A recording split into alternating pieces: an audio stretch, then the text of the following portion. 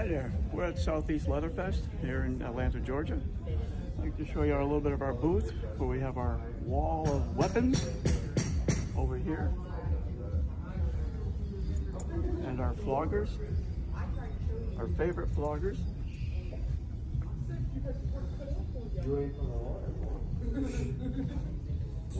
Along with elk, bison, and just a nice heavy duty leather. We have our line of wrist and, wrist and ankle cuffs, some dragon tails, and we got dragons. Cool little dragons. They love to hang around, easy to take care of.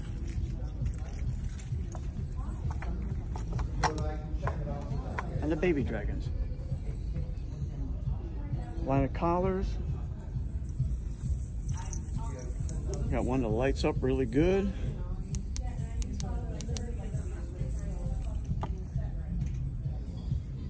Ones that hang more like a necklace. If you don't like it tight to your neck, these will fit nice and low like a ne necklace.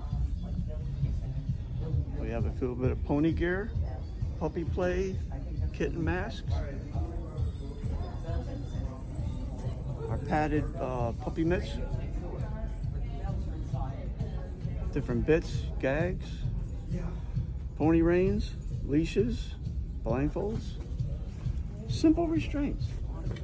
People that have a hard time tying knots and stuff. These are real nice and simple and quick release.